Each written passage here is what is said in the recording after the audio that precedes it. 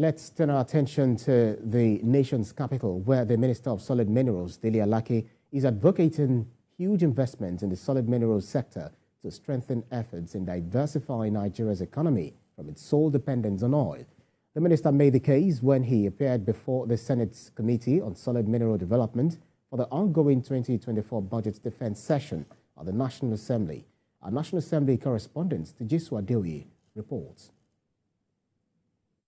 Nigeria's solid mineral sector is a critical segment in the economic growth plan of the Tinubu administration as it seeks to develop a new economy that will create wealth for the Nigerian people.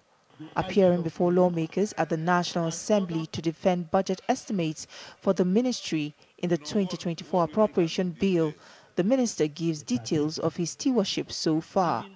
The minister says paucity of funds is one major challenge which has limited the ministry's performance.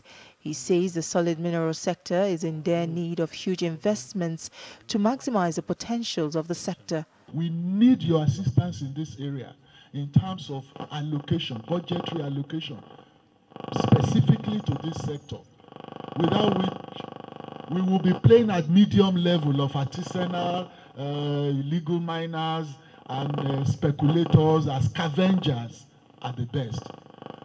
The Senate says it will strengthen the process of collaboration between the ministry and legislature and capitalize on the country's natural resources to convert to wealth. You cannot afford to fail. I mean, given how close you are. Because everybody will say, ah, if they can, uh, then there's a problem.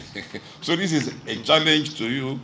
We in the committee, we have given you our full commitment that we are going to collaborate with you so that you can succeed. The minister appealed to the lawmakers for timely release of funds to his ministry as it has largely operated on a zero budget basis since he assumed office as minister. TJ Suadio, News, Abuja.